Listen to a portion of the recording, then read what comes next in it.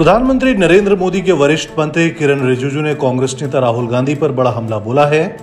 उन्होंने कहा कि राहुल गांधी देश की एकता के लिए बहुत खतरनाक हो गए हैं। अब वो भारत को बांटने के लिए लोगों को भड़का रहे हैं। कैम्ब्रिज विश्वविद्यालय में राहुल के दिए गए बयान को ट्वीट कर किरण रिजिजू ने कहा कि भारत के लोग जानते हैं राहुल गांधी पप्पू हैं, लेकिन विदेशी नहीं जानते कि वो वास्तव में पप्पू हैं।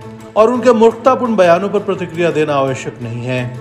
लेकिन समस्या यह है कि उनके भारत विरोधी बयानों का भारत विरोधी ताकतों द्वारा भारत की छवि को खराब करने के लिए दुरुपयोग किया जाता है।